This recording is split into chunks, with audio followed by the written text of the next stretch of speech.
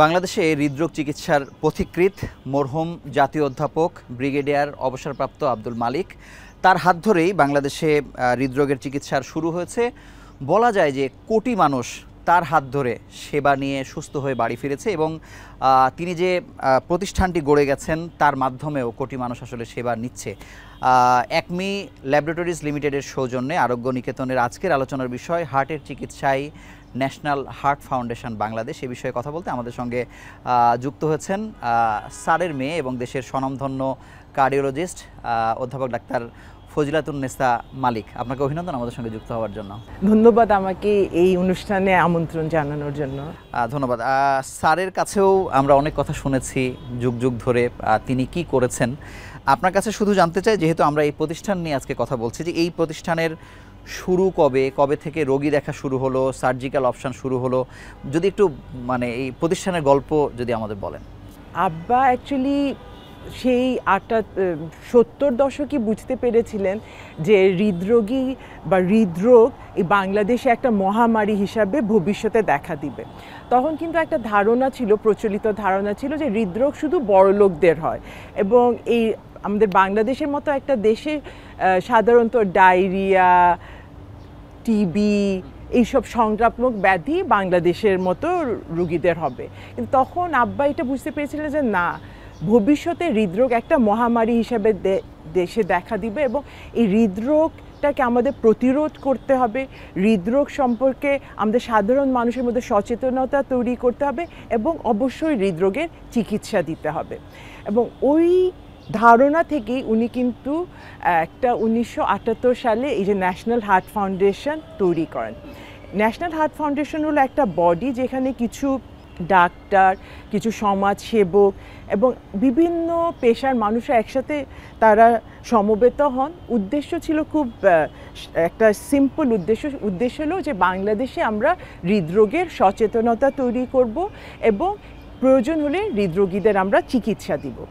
সেই ধারণা থেকে উনিশশো আটাত্তর সালে প্রথমে আমাদের একটা ক্লিনিক তৈরি হয় সেটা ছিল ফ্রি সানডে ক্লিনিক তখন আচ্ছা। কিন্তু সানডেতে সরকারি ছুটি ছিল তো আচ্ছা। সানডেতে আব্বা লালবাগে চলে যেতেন ওইখানে উনি যে একটা আমাদের একজন ছিলেন প্রধান বিচারপতি, উনি আমাদের এই হার্ট ফাউন্ডেশনের সাথে জড়িত ছিলেন এবং উনি আমাদের ফার্স্ট প্রেসিডেন্ট ছিলেন। তো ওনার বাসায় তখন ফ্রি সানডে ক্লিনিক হতো এবং সেই সানডে ক্লিনিকে রুগীরা আসতো, আব্বা এবং আরও কিছু, আব্বার সাথে কিছু সহকর্মী তারা মিলে রুগীদের দেখতেন প্রেসক্রিপশন করে দিতেন। এইভাবে প্রত্যেক সপ্তাহে আব্বার কাজ ছিল সানডেতে চলে যাওয়া রুগী দেখার জন্য। তারপরে যেটা হয় ঢাকাতেই ছিল। সেটা লালবাগ। লালবাগে ছিল। লালবাগে ছিল সেটা।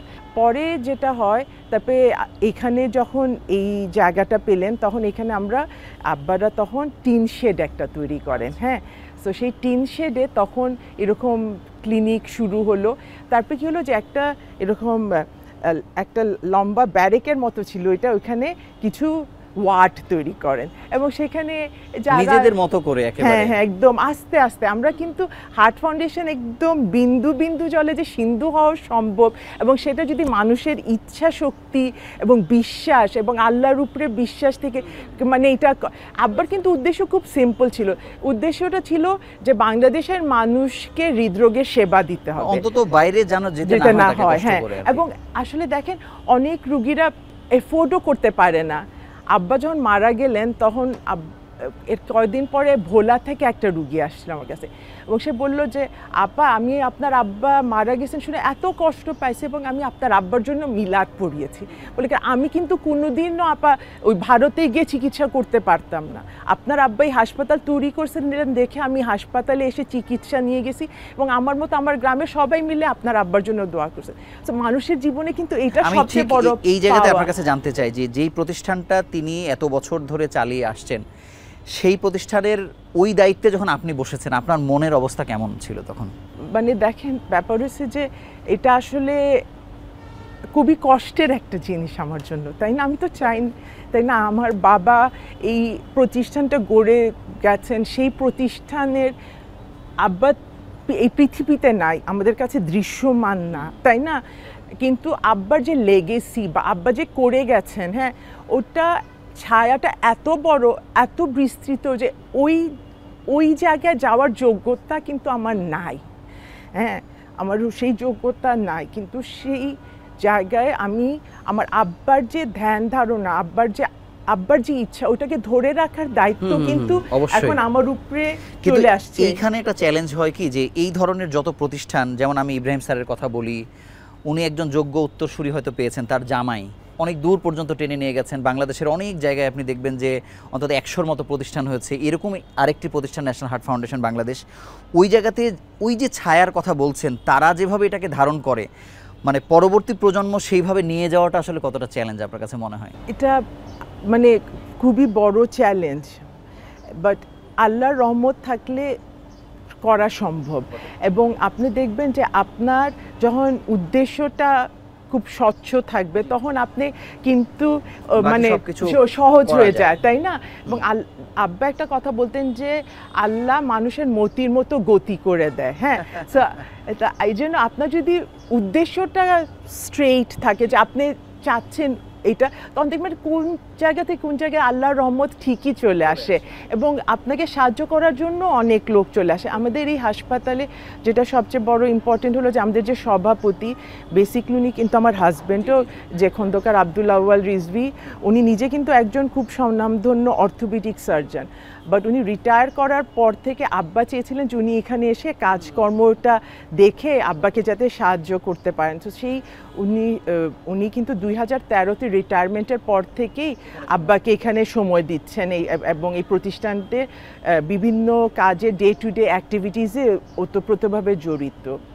আমি দুই হাজার একে তখন আমি ছিলাম আপনার অ্যাসোসিয়েট প্রফেসর জাতীয় হৃদরোগ এনআইসিভিডিতে সরকারি চাকরি করতাম আমি। সেটিও আপনার বাবার হাত ধরে হ্যাঁ তখন এই যে আব্বা যখন বললেন যে আস্তে আস্তে তো প্রতিষ্ঠানটা বড় হচ্ছে তো তখন আমি কিন্তু ওই সরকারি চাকরি ছেড়ে এখানে চলে আসি হ্যাঁ।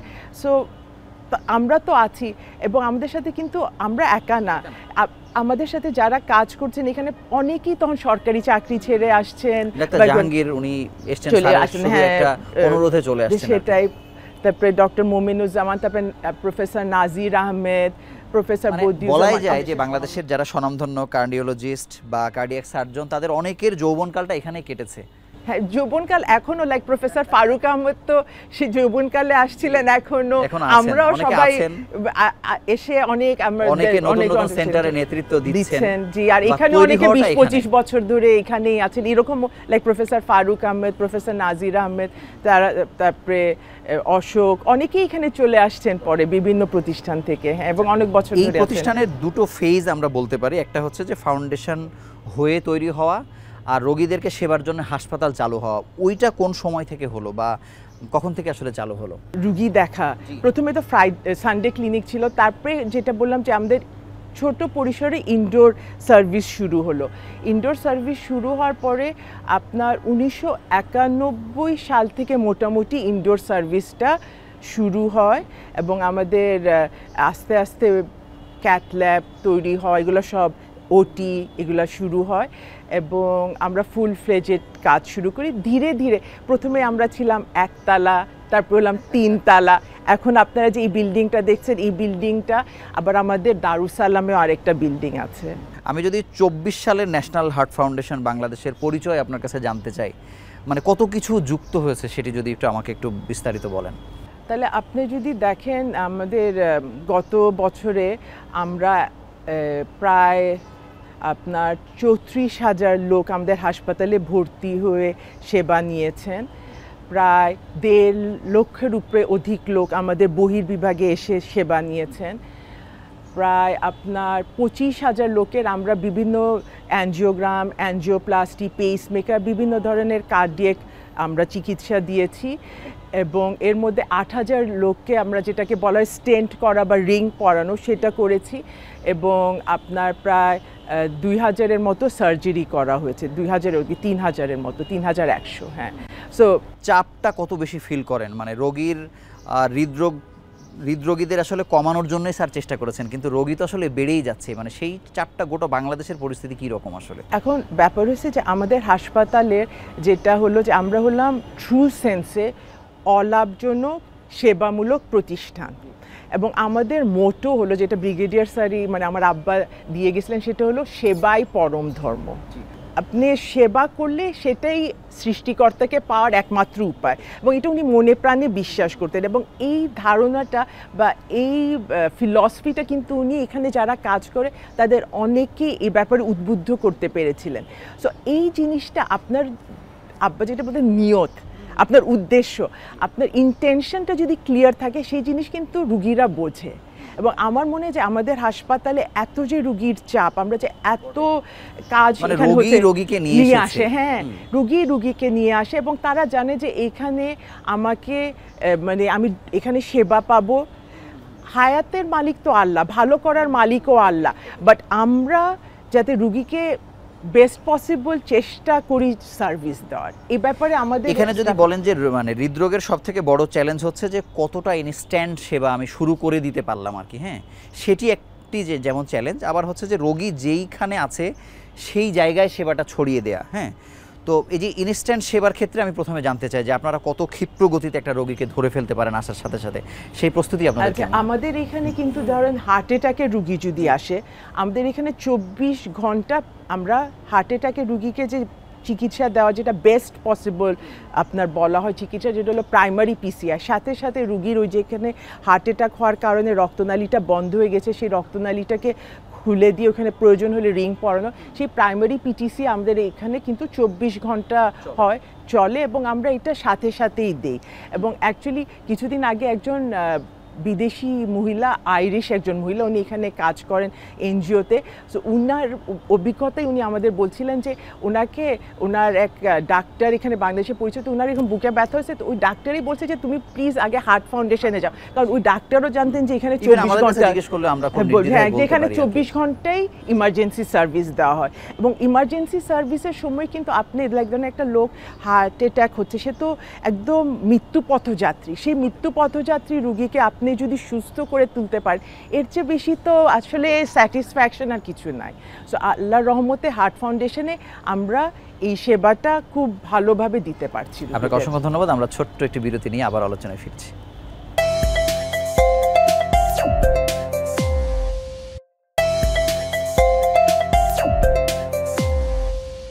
ম্যাডাম, আপনার কাছে জানব যে মানে সাধারণ মানুষ এটিকে দেখে আসলে একটি হাসপাতাল হিসেবে পেছনের গল্প তো আপনার কাছে শুনলাম বা এটা একটি মানে গৌরবান্বিত একটি অধ্যায় আসলে আছে। কিন্তু শুধু সেবা দেয়া ছাড়া আরও কতগুলো রোল আছে আসলে এই ইনস্টিটিউটের যদি বলেন? একাডেমিক রোলটা আসলে কেমন? এটা খুবই গুরুত্বপূর্ণ এবং আব্বা যেটা বলতেন যে একজন মানুষের পক্ষে তো সবাইকে সেবা দেওয়া সম্ভব না, তাই না? এবং সেই জন্য আমাদের আরও অনেক কার্ডিওলজিস্টের প্রয়োজন। এবং সেই মন মানসিকতা এবং শুধু কার্ডিওলজিস্ট না, আপনার কিন্তু এটা একটা টিম ওয়ার্ক আমরা যখন একটা হৃদরোগীকে সেবা দিই, সেখানে কিন্তু প্রত্যেকে খুবই গুরুত্বপূর্ণ। একজন কার্ডিয়াক নার্স একজন টেকনোলজিস্ট ডাক্তার প্রত্যেকেরই কিন্তু সমান গুরুত্ব। এবং ওইটা চিন্তা করি আমাদের এখানে কিন্তু প্রত্যেক ক্ষেত্রে আমরা কিন্তু ট্রেনিং এবং ডিগ্রির ব্যবস্থা আছে। লাইক আমাদের এখানে কার্ডিওলজিস্টদের ট্রেন করার জন্য এমডি কার্ডিওলজি কোর্স আছে। কার্ডিওথোরাসিক সার্জনস তৈরি করার জন্য মানে কতজন করে বের হয় প্রতি বছর এরকম কোনো? প্রতি বছরে পাঁচজন কার্ডিওলজিস্ট এবং পাঁচজন কার্ডিয়াক সার্জন হিসাবে আমরা এখানে নেওয়া হয় এবং এটা আগে ঢাকা ইউনিভার্সিটির অধীনে ছিল এখন বঙ্গবন্ধু শেখ মুজিব ইউনিভার্সিটির অধীনে আমাদের এমএস এবং এমডি কার্ডিওলজিতে আমরা ডিগ্রি কি করে এই ইউনিভার্সিটির আন্ডারে শুধু ডাক্তার না, তাছাড়াও আমরা রেগুলারলি জুনিয়র ডাক্তার স্টুডেন্ট এদের ট্রেনিং দেওয়ার জন্য বিভিন্ন সময় বিভিন্ন কর্মশালা করে থাকি। এবং আমরা বিভিন্ন মেডিকেল কলেজ থেকে ইন্টার্নি ডক্টর জুনিয়র ডক্টর এদের একটু ইন্সপায়ার করার জন্য বিভিন্ন দিবসে লাইক হাইপারটেনশন বিশ্ব উচ্চ রক্তচাপ দিবস, তারপরে ওয়ার্ল্ড হার্ট ডে এইগুলাতে আমরা এখানে এক কর্মশালা আয়োজন করি। এবং আমাদের এই জুনিয়র ডাক্তাররা যাতে একটু কার্ডিওলজির ব্যাপারে ইন্সপায়ার্ড হোক বা কার্ডিওলজি সম্পর্কে জানুক, সেজন্য আমরা অনুষ্ঠান রেগুলারলি আয়োজন করে থাকি। আমাদের টেকনিশিয়ান খুবই ইম্পর্টেন্ট একটা আপনার অ্যানজিওগ্রাম বা স্টেন্টিং যেটা রিং পড়ানো এগুলোতে টেকনিশিয়ানের খুব দরকার।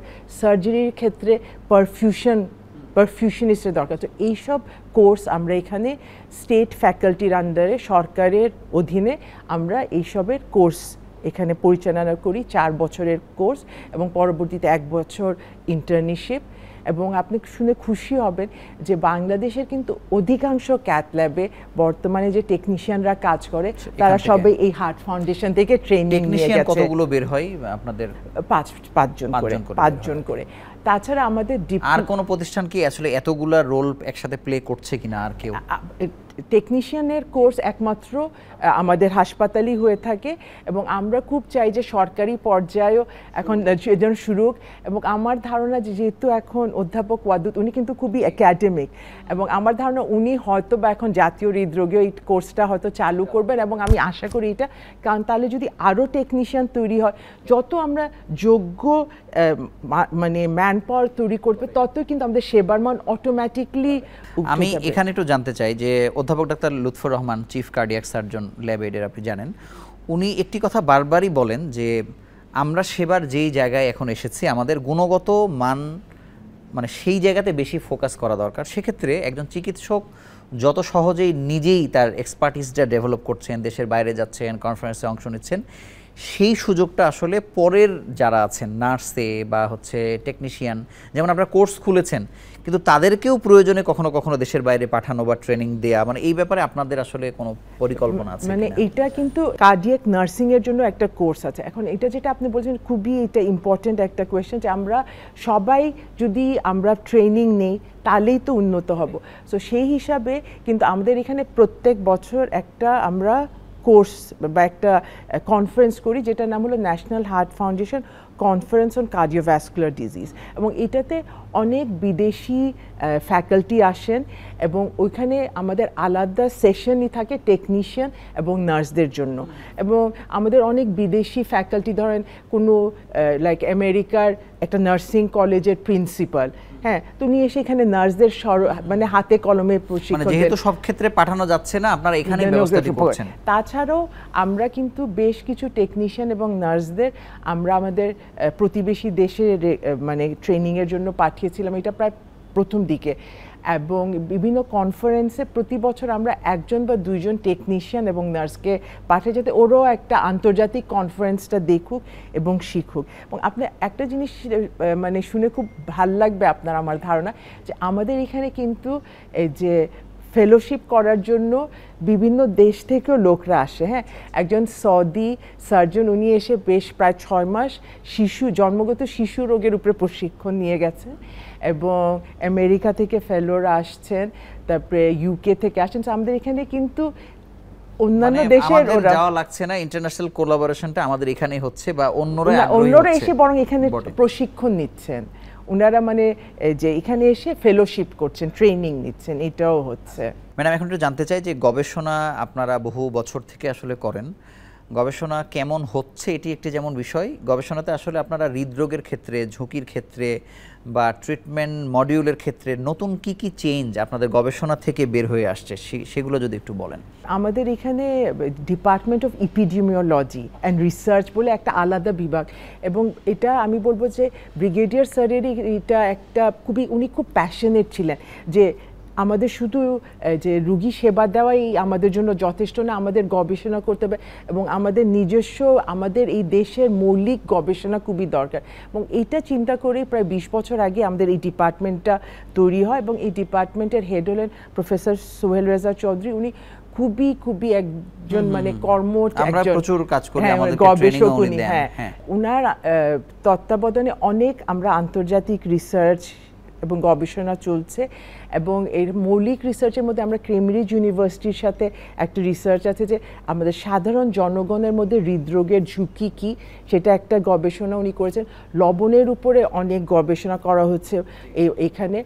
তাছাড়া ধূমপানের সঙ্গে করা ধূমপানের সাথে খুবই আপনাদের সাথে অনেক কাজ করেছেন ধূমপান নিয়ে। আর আমাদের ক্লিনিক্যাল মানে আমাদের ক্লিনিক্যাল অনেক আমরা আন্তর্জাতিক রিসার্চ করেছি। যেমন আমরা ড্রাগ কোটেড বেলুনের উপরে একটা ট্রায়ালের পার্ট ছিলাম। এখন আমরা আছি তারপরে একটা স্টেন্ট রিসার্চ পর্যায়ে আন্তর্জাতিক একটা স্টেন্ট খুবই নাম করা, সেই স্টেন্টের ফলাফল কেমন হয় রুগীদের উপর, বিশেষ করে ডায়াবেটিক পেশেন্টদের উপর, সেটার উপরে সেই রিসার্চে আমরা সংযুক্ত ছিলাম। তারপরে যেসব রুগীদের অনেক ব্লিডিং হওয়ার রিস্ক আছে, এদের স্টেন্ট পড়ালে ঝুঁকি কী বা কী করা, করণীয়? সো আমরা বিভিন্ন আন্তর্জাতিক রিসার্চের পার্ট এবং আরেকটা খুব একটা আপনি শুনে খুশি হবেন যে সার্ক নামে একটা আন্তর্জাতিক প্রতিষ্ঠান আছে, রিসার্চের হ্যাঁ? এটা প্যারিস বেসড একটা অর্গানাইজেশন এবং গত বছর এই বছর, মেতে আমরা কিন্তু ন্যাশনাল হার্ট ফাউন্ডেশন একটা মানে আদর্শ রিসার্চ সেন্টার হিসাবে ওইখান থেকে পুরস্কৃত হয়েছে। অলাভজনক প্রতিষ্ঠান বাংলাদেশে অনেক আছে। অনেকে সুনামের সাথে তার কাজ পরিচালনা করছে, আবার অনেক প্রতিষ্ঠান আসলে নিজেদেরকে এমন পচা জায়গাতে নিয়ে গেছে। অলাভজনক প্রতিষ্ঠান যারা ভালো করছে, তাদেরও আসলে বদনামও আসলে হয়েছে। মানুষ মনে করে যে অলাভজনক প্রতিষ্ঠান মানেই কি এমন? যে আমি তো যাব হচ্ছে এক টাকার সেবা আসলে পঞ্চাশ পয়সা নিয়ে চলে আসব। মানুষ এরকম কনসেপ্ট হয়তো। আবার অনেকে কম্পেয়ার করে যে ঠিক আছে একটা বেসরকারি প্রতিষ্ঠানে আমি যদি ল্যাবেডে এত টাকা দিয়ে একটা সার্জারি করি, তাহলে আমি কেন হার্ট ফাউন্ডেশনে ওই একই টাকায় বা কখনো কখনো বেশি টাকাতে কেন করব? এই জায়গাতে আসলে অলাভজনক প্রতিষ্ঠানের কনসেপ্টটা কি? বা আপনারা কত মানুষকে বিনামূল্যে সেবা দিচ্ছেন বা কম প্রাইসে সেবা দিচ্ছেন? এই পলিসিটা যদি আমাদেরকে একটু বলা অলাভজনক সেবামূলক প্রতিষ্ঠান হ্যাঁ এটা কিন্তু মনে প্রাণে আমরা এই কনসেপ্ট দিয়েই সেবা করি বাট অলাভজনক মানে ফ্রি না। এটা বুঝতে হবে, তাই না? কারণ প্রত্যেকটা জিনিস কেনা লাগে। হ্যাঁ এখন আপনি ধরেন একটা স্টেন্ট এবং এটাই যেটা আমার আব্বা বলতেন যে হৃদরোগ কিন্তু খুবই ব্যয়বহুল এবং একবার যদি কারও হৃদরোগ হয়ে যায়, সেটার চিকিৎসা করা কিন্তু খুবই মানে কঠিন এবং সাধারণ মানুষের জন্য এটা খুবই কঠিন এবং সেই জন্য আমরা একটা সহায়ক শক্তি হিসাবে কাজ করি এবং আপনারা খোঁজ নিয়ে দেখবেন যে বাংলাদেশে সবচেয়ে কম খরচে যে কোনো চিকিৎসা পদ্ধতি হোক যে কোনো পরীক্ষা হোক আমাদের এখানে আমরা এটা একদম স্ট্রংলি বলতে পারি আমাদের এখানে যত কম খরচে হয় অন্য কোথাও এত কম খরচে হয় যাদের কোনো এফোর্ড করার কোনো ক্ষমতাই নেই তাদের ব্যাপারে আপনাদের কোনো পলিসি আছে কিনা? যাদের এফোর্ড করার কোনো ক্ষমতাই নাই তাদের জন্য যেটা আমাদের পলিসি হলো যে আমরা অ্যাকচুয়ালি থার্টি পার্সেন্ট রুগীদের সার্ভিসটা পুরো ফ্রি করে থাকি। এখন থার্টি পার্সেন্ট পেশেন্টদের এখন থার্টি পার্সেন্ট পেশেন্টদের তাহলে তাহলে তার বেড ভাড়া ফ্রি তাকে যে আমরা চিকিৎসা দিই সেটা ফ্রি বাট কস্ট অফ মেটেরিয়ালটা আমাদের লাগবে। কস্ট অফ মেটেরিয়ালটা সেটা আমরা রুগী অনেক সময় কন্ট্রিবিউট করে, যে যে, যার কিছুই নাই। হ্যাঁ ধরেন একজন রিক্সা চালক আসলো আমাদের এখানে, অবশ্যই তাকে আমরা সেবা দিব। এখন তার কস্ট অফ মেটেরিয়াল সে কিছু কন্ট্রিবিউট করতে পারে। তাছাড়া অনেক লোক আছে যারা অ্যাকচুয়ালি ডোনেট করে হ্যাঁ? বাংলাদেশে কিন্তু ভালো মানুষ অনেক আছে, হ্যাঁ? এবং অনেক প্রতিষ্ঠানরাও কিন্তু হ্যাঁ? এবং তারা জানে যে এখানে তার করলে ডোনেশনটা প্রকৃত লোকটি আসলে পাবে। এবং বেছে সেই লোকটাই পাবে। তো এরকম অনেক প্রতিষ্ঠান আছে যারা তাদের এখানে টাকা তারা দেয় প্রত্যেক মাসেই তারা দিচ্ছে এরকম। ওইখান থেকেও আমরা কিছু দিই। বাট এটা অত বেশি না যে আপনি মানে হৃদরোগের যে পেশেন্ট হ্যাঁ আমরা আমরা বললাম যে আমরা গত বছর প্রায় সাড়ে আট হাজার জনের অ্যানজিওপ্লাস্টি করেছি, তাই না? সো আমরা যে ওই যে ফ্রি করে দিতে পারব, ওই ক্ষমতাটা কিন্তু অ্যাকচুয়ালি আমাদের অত নাই। আমাদের লোকে ডোনেট করছে বাট ওইটা প্রয়োজন বা চাহিদার তুলনায় খুবই কম তাই না? যেটা যে ডোনেশনটা আমরা আপনার পলিসিতেই তো ওই থার্টি পার্সেন্ট বাচ্চাদের আছে তাকে তো আপনি দিচ্ছেন। হ্যাঁ তাকে আমরা দিচ্ছি। তা- কিন্তু ওটা কস্ট অফ মেটেরিয়াল কিন্তু রুগী বা অন্য কেউ হয়তো বহন করতে হবে। তো সেই হিসাবে আপনার এরকম অনেক রুগী আসে যারা হয়তো সাবসিডাইজড ভাবে তার মানে চিকিৎসাটা সেটা নিতে পারছে। বাছাইয়ের তো আপনাদের একটা পদ্ধতি আছে অবশ্যই। দিচ্ছেন বা দিচ্ছেন জি। না। আমাদের একটা ফর্ম আছে ওই ফর্মে তারা ফিল আপ করলে তখন আমরা এটা আপনাকে অসংখ্য ধন্যবাদ আমরা আরও একটি ছোট্ট বিরতি নিয়ে আবার আলোচনায় ফিরছি।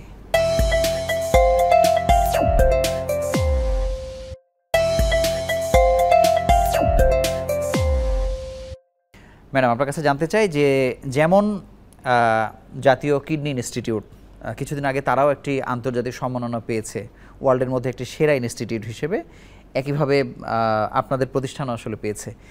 কিন্তু বাংলাদেশের মানুষ বা রোগী বা একজন চিকিৎসকও অনেক ক্ষেত্রে বুঝতে পারে না যে আসলে এর স্ট্যান্ডার্ডটা আসলে কেমন। অনেক সময় হয় না যে আমরা কোনো একটা জায়গা থেকে একটা অ্যাফিলিয়েশনের মাধ্যমে নিয়ে চলে আসলাম। ব্যাপারটা তো আসলে এরকম না। আমরা যারা জানি বা পড়েছি কোন জায়গা থেকে সেই অ্যাক্রিডিটেশনটা আপনারা পেয়েছেন মানে এটার ধরনটা কীরকম? মানে কীভাবে আমি বুঝব যে আপনারা আসলে ওই লেভেলে গেছেন? এখন আমরা কিন্তু অ্যাকচুয়ালি মানে অনেস্টলি আমরা কিন্তু আন্তর্জাতিক পর্যায়ে না, না, হ্যাঁ, আমরা অবশ্যই এটা করি। এখন এইটা একটা প্যারামিটার হতে পারে যে আমরা এখান থেকে রেগুলারলি কিন্তু লাইফ কেস আমরা ট্রান্সমিট করে থাকি বিভিন্ন আন্তর্জাতিক সম্মেলনে। আমরা সিঙ্গাপুরে করেছি অস্ট্রেলিয়ায় করেছি তারপরে ইটালিতে করেছি পৃথিবীর বিভিন্ন দেশে ধরেন কার্ডিওলজিস্ট ইন্টারভেনশনাল কার্ডিওলজিস্টদের যে কনফারেন্স হয় সেই কনফারেন্সের একটা বিষয় থাকে লাইভ কেস মানে আপনি বলেই তো আসলে হ্যাঁ, করতে পারছেন। আমরা কেসটা করি এবং ওইখানে বিশেষজ্ঞরা সেই কেসে কীভাবে করা যায় বা আমরা সেখানে যে যারা আসেন সেটা হ্যাঁ। সেটা তখন তারা দেখে ওইখান থেকে মানে শিখার জন্য এই লাইভ কেসগুলো সাধারণত ট্রান্সমিটেড হয় এবং বিশ্বের খুব বেস্ট পসিবল সেন্টার্সগুলা থেকে ইউজুয়ালি লাইভ কেস ট্রান্সমিশন নেওয়া হয় কনফারেন্সগুলোতে তো আপনি শুনে এটা খুশি হবে আমাদের। এইখান থেকে মানে বাংলাদেশ থেকে রেগুলারলি ন্যাশনাল হার্ট ফাউন্ডেশন থেকে আমরা লাইভ কেস ট্রান্সমিট করে থাকি এবং সেটা ইউরোপ তারপরে জাপান তারপরে আপনার সিঙ্গাপুর বিভিন্ন দেশে আমরা অস্ট্রেলিয়া আমরা ট্রান্সমিট করেছি লাইভ আরেকটি বিষয় হচ্ছে যে মানে একটি প্রতিষ্ঠান যখন ইন্টারন্যাশনালি রিকগনাইজড হয় বা কোনো একটা অ্যাক্রিডিটেশনের মানে সার্টিফাই হয় সেটার তো একটা দীর্ঘদিনের একটা প্রস্তুতি আছে আসলে। সেই প্রস্তুতির মধ্যে দিয়ে আপনাদের যেতে কেমন সময় লেগেছে আসলে? এটা অ্যাকচুয়ালি বুঝছেন বিন্দু বিন্দু জলে সিন্ধু হয় হ্যাঁ? এবং এখানে আপনার ধৈর্য আপনার একাগ্র চিত্তে কাজ করার একটা কি হ্যাঁ তাই না? এবং আপনার মানে বছরের পর বছর কাজ করার পরে একদিন আপনিও রিয়েলাইজ করবেন যে না আমি তো একটা লেভেলে পৌঁছালাম তাই না? এটা একদিনের বিষয় না, না অবশ্যই। একদিনের সম্ভব না। এক্সপ্যানশনের কথা যদি আমরা জানি যে আমরা হার্ট ফাউন্ডেশন বলতেই এই প্রতিষ্ঠানটা তো মুখস্থ বাংলাদেশের মানুষের কাছে। আপনারা আলাদা করে নারীদের জন্য বা শিশুদের জন্য আরেকটি সেন্টার করেছেন। এটা কবে করেছেন? সেটার ক্যাপাসিটি কীরকম? শয্যা কীরকম? বা কতজন ডাক্তার ওখানে কাজ করছে? জি এখন ওইখানে অ্যাকচুয়ালি নারী ও শিশুদের আমরা প্রাধান্য দিয়েছি বাট ওইখানে আমরা পুরুষ রোগীদেরও সেবা দিয়ে থাকি। আচ্ছা। হ্যাঁ, কারণ ওইটা আবার একটা একটু কনফিউজিং হয়ে যাচ্ছিল যে সবাই হ্যাঁ নারী শিশুতে তো আমি ভর্তি হব না পুরুষরা হ্যাঁ, হ্যাঁ, এরকম একটা আচ্ছা। তো সেই জন্য না ওইখানে অ্যাকচুয়ালি পুরুষ রোগীদেরও সেবা দিয়েছে বাট ওইখানে এক্সক্লুসিভলি আমরা যেটা হচ্ছে যে আমাদের জন্মগত হৃদরোগের বাচ্চাদের আমরা সেবা দিয়ে থাকি এবং আপনি এটা তো জানেনই যে মানে অনেক বাচ্চারা জন্ম হয় যে শিশুর মানে জন্মগত হৃদরোগ নিয়ে এবং ওদের অপারেশন করা, তারপরে ওদের বিভিন্ন ডিভাইস দিয়ে চিকিৎসা দেওয়া, ওটা ওই সেন্টারে আমরা করে যাচ্ছি এবং ওখানে একশো চল্লিশটা বেড আছে বাচ্চাদের জন্য। কিন্তু আমার জানার বিষয় যে, যেমন অধ্যাপক ডাক্তার জাহাঙ্গীর কবির বা অধ্যাপক ডাক্তার নুরুন্নাহার ফাতেমা, এরা তো দেশের শীর্ষ মানে শিশু কার্ডিওলজিস্ট একসময় ছিলেন আর কি। কার্ডিয়াক সার্জন ছিলেন, একজন তো কার্ডিওলজিস্ট ছিলেন। মানে এখান থেকে তারা তৈরি হয়েছেন। কিন্তু আমরা সবসময়ই এই প্রতিবেদন করার সময় গিয়ে দেখি যে পেডিট্রিশিয়ান যারা আছেন সার্জন তাদের সংখ্যাটি আসলে খুবই অপ্রতুল। সরকারিতে বা ইভেন বেসরকারিতেও। এই জায়গাটি আসলে মানে বাড়ানোর জন্য আপনারা কি কোনো আলাদা ফোকাস দেন জি আপনার অ্যাকচুয়ালি আমি আপনাকে রিকোয়েস্ট করব আমাদের ওই সেন্টারটা একটু ঘুরে আসবেন এবং আমাদের দুজন সার্জন আছেন খুবই নিবেদিত প্রাণ হ্যাঁ?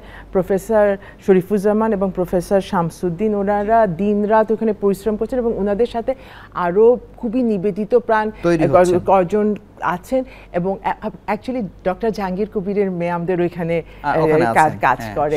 হ্যাঁ, হ্যাঁ। সে ওইখানে ও কিন্তু শিশু রোগ বিশেষজ্ঞ এবং মানে সেই সংকটটা আমরা আশা করি হয়তো কমে যাবে আর কি। হ্যাঁ হ্যাঁ আমাদের এখানে যারা কাজ করছেন এবং আমাদের ইন্টারভেনশনাল কার্ডিওলজিস্ট যারা পিডিয়াট্রিক সাইডে কাজ করেন আপনি ওখানে দেখবেন প্রফেসর তৌফিক শারিয়ার হক আছেন হয়তো আপনার সাথে পরিচয় আছে। তারপরে জেসমিন রাহানুমা ওনারা অ্যাসোসিয়েট প্রফেসর মানে সেন্টার আলাদা করে করার জন্য যেটা হয়েছে যে এই তৈরি হওয়ার জায়গাটি আসলে প্রসারিত হচ্ছে। হ্যাঁ, জি। আমি আরেকটু অন্যরকম একটা প্রশ্ন করতে চাই যে স্যারের তো আসলে অনেক স্বপ্ন ছিল সেই স্বপ্ন সবই আপনারা হয়তো জানেন। এমনও কি কিছু আছে যে স্যার স্বপ্ন দেখে গেছিলেন, কিন্তু জীবদ্দশায় সেটি আসলে চালু করে দিয়ে যেতে পারেননি? এমন কি কিছু ছিল, নাকি আসলে সবই উনি দেখে যেতে পেরেছেন? না, একটা ছিল। সেটা ছিল যে, খুব শখ ছিল যে একটা এই যে কিসের মানে একাডেমিক আরও একাডেমিক সেন্টার হবে হ্যাঁ? লাইক যদি আমরা কখন খুব একটা স্বপ্ন ছিল যে পূর্বাচলে যদি কখনো জমি পাওয়া যায়, তাহলে ওইখানে একটা একদম জাস্ট একাডেমিক ইন্টারন্যাশনাল একটা একাডেমিক সেন্টারের মতো বিশ্ববিদ্যালয় বা কিছু কার্ডিওলজির উপরে করার একটা স্বপ্ন ছিল। সেই স্বপ্নের কথা কি আসলে সরকার জানে কিনা বা এটি জানানো হয়েছে কিনা? বা পূর্বাচল তো আসলে খুবই গুরুত্বপূর্ণ জায়গা হয়ে যাচ্ছে এবং আপনি জানেন যে স্টেডিয়াম বা অনেক বড় বড় প্রতিষ্ঠান ওদিকে হচ্ছে। আপনারা এই বিষয়ে কোনো পরিকল্পনা হাতে নিয়েছেন কিনা? এখানে একটা জিনিস ছিল যে ওইখানে বোধহয় কিছুটা জমি হার্ট ফাউন্ডেশনের পাওয়ার কথা বা বা- হ্যাঁ বাট মানে আবার আশা ছিল যে আরও বেশি পরিসরে হলে তাহলে একদম একদম একটা ওয়ার্ল্ড মানে একদম সেন্টার। হ্যাঁ একটা ইন্টারন্যাশনাল একটা সেন্টার এই রিজনের জন্য তৈরি করা যে একদম ওই রকম একটা আমি স্যারের প্রসঙ্গে যেহেতু ঢুকছি স্যারকে নিয়ে আসলে কথা বলতে বেশি ইচ্ছে করে আর কি মানে আমি জানতে চাই যে স্যারের শেষ দিনগুলোতে আপনারা তো মানে সবসময় কাছে ছিলেন আর কি এই যে রোগীদের ব্যাপারে তার যে একটা মানে একটা পাগল পাড়া একটা হৃদয় আসলে মানে শেষের দিকে তার অনুভূতিগুলো কি ছিল বা উনি আসলে কি চাইতেন, সেই গল্পগুলো স্মৃতি একটু আপনার কাছে জানতে চাই। আব্বা খুব সিম্পল একটা মানুষ ছিলেন হ্যাঁ খুব সিম্পল আব্বার কাছে জীবনে খুব, একটা ছিল নিজের ফ্যামিলি নিজের ফ্যামিলি আর নিজের পেশেন্ট এই এবং হাসপাতালের কর্মচারী হ্যাঁ এই এই কয়টা, এই এই কজনকে নিয়ে আব্বা মানে এত, আর আরেকটা হলো যে এত ভালোবাসা যে একটা মানুষ, আরেকটা মানুষকে দিতে পারে হ্যাঁ? কারণ আব্বা মারা যাওয়ার পরে কত লোক এসে বলছে যে উনি আমাকে এত ভালোবাসতেন, উনি, একটা ছিল যে উনি সবার সাথে একই ব্যবহার করতে পারতেন হ্যাঁ? মানে যেই তার কাছে আসুক না, তাকে সে কিন্তু আপন করে নেওয়ার একটা অদ্ভুত ক্ষমতা ছিল তাই না এবং সে যেই হোক সে রাস্তা থেকে আসুক বা একজন একদম মন্ত্রী পর্যায়ে বা কি সবাই আল্লাহর চোখে যেরকম হ্যাঁ, মানে হ্যাঁ, মানে সমান। আব্বু যে স- মানে সবাইকে সমান গুরুত্ব দিয়ে। তার কথা শোনা তার প্রবলেমটাকে সলভ করার চেষ্টা করা এটা তার মধ্যে ছিল এই যে মানে একটা কথা বললেন যে পূর্বাচল কেন্দ্রিক বা একটা এক্সপানশন হয়েছে মানে আপনাদের আর কোনো এক্সপেনশন অন্য কোনো দিকে কি আসলে হচ্ছে? মানে যেমন স্টুডেন্ট তৈরি করার ক্ষেত্রে ওই সংখ্যাগুলো আসলে বাড়ানো, পাঁচজনের জায়গায় দশজন হওয়া বা এরকম কিছু আছে কিনা বা এই মুহূর্তে আমাদের ওইরকম পরিকল্পনা নাই। আমাদের একটা জিনিস আমরা খুবই চাচ্ছি সেটা হলো যে কোয়ালিটি ভার্সেস কোয়ান্টিটি হ্যাঁ, তো কোয়ালিটিটা এই মুহূর্তে আমাদের কাছে মনে হচ্ছে বড় চ্যালেঞ্জ মানে যত হ্যাঁ, রোগী আসলে প্রত্যাশার তুলনায় অনেক বেশি সো সেই জন্য আমাদের কোয়ালিটিটা মেনটেন করাতে একটা বড় ফোকাস সেটা আমাদের রুগীর সেবা দেওয়ার ক্ষেত্রে এবং দক্ষ জনশক্তি গড়ার ক্ষেত্রেও। সো সেই জন্য আমরা এখনও যে আমাদের স্টুডেন্টের সংখ্যা এক্সপ্যান্ড করব কি ওই এখনও। এখনও ওরকম প্ল্যান নাই আর কি। আপনাকে অসংখ্য ধন্যবাদ আমরা শেষ বিরতিতে যাচ্ছি ফিরছি কিছুক্ষণ পরেই।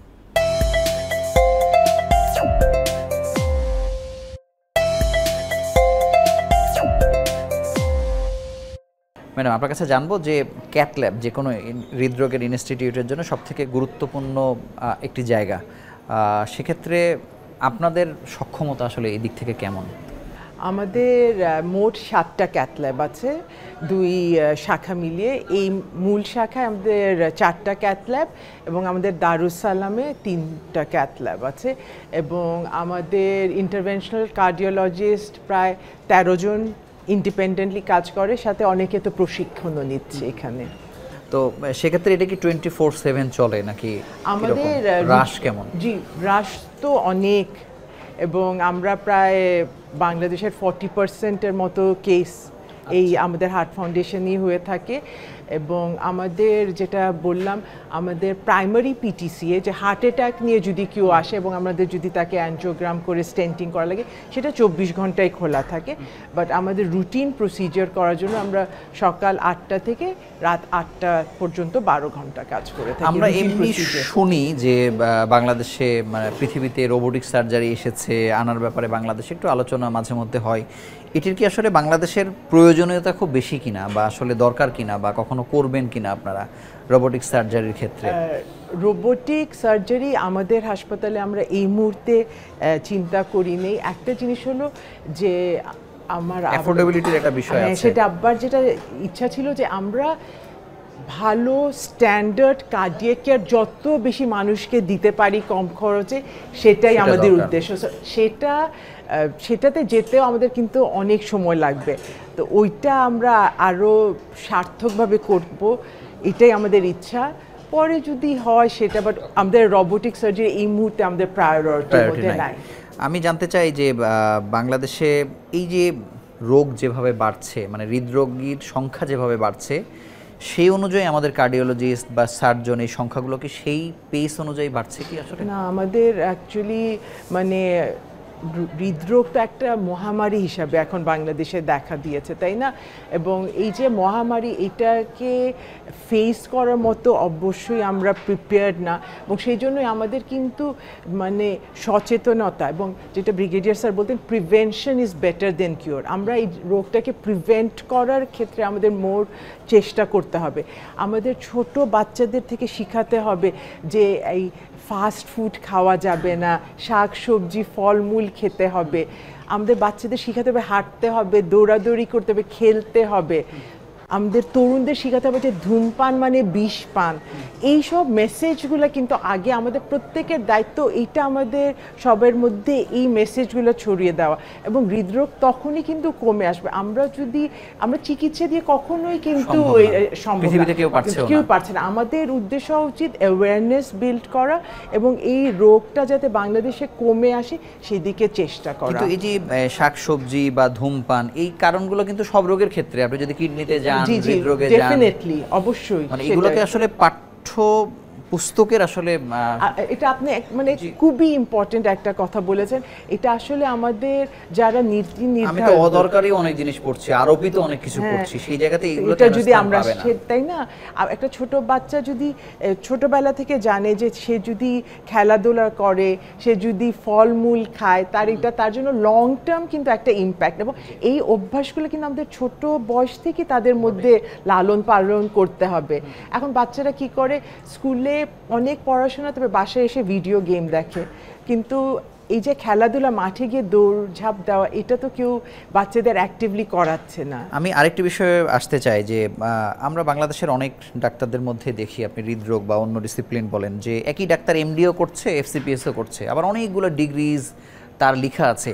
মানে এগুলোর একটু অ্যাকোমোলেশন দরকার কিনা মানে এত বিক্ষিপ্ততা হলে কি আসলে আমরা কি শুধু এই ট্রেনিং করতে করতে আমাদের জীবন পার হয়ে যাবে কিনা মানে এই জায়গাতে আপনার কোনো বক্তব্য আছে কি?